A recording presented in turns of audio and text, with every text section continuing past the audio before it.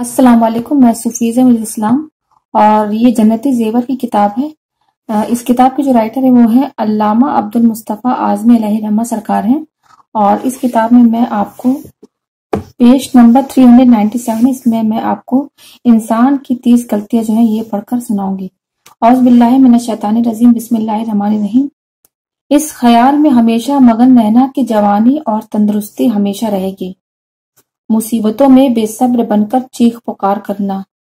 अपने अकल को सबसे बढ़कर समझना। दुश्मन को हकीर समझना। बीमारी को मामूली समझकर शुरू में इलाज न करना।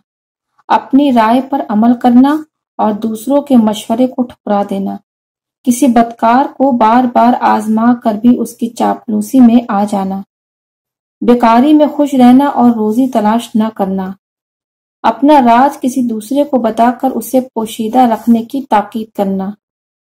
आमदनी से ज़्यादा खर्च करना। लोगों की तकलीफ़, में शरीक न होना और उनसे इमदाद की उम्मीद रखना। एक दो ही मुलाकात में किसी शख्स की नस्बत कोई अच्छी या बुरी राय कायम कर लेना। वालिदैन की खिदमत न करना और अपनी औलाद से खिदमत की उम्मीद रखना।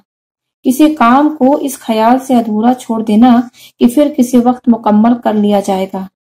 हर शख्स से बदी करना और लोगों से अपने लिए नेकी की उम्मीद रखना। गुमराहों की सोहबत में उठना बैठना। कोई अमल सालह की तकलीम करे तो उस पर ध्यान न देना। खुद हराम व हलाल का ख्याल न करना और दूसरों को भी उस राह पर लगाना। झूठी कसम खाकर और झूठ बोलकर धोखा देकर अपनी तिजारत को फरोग देना।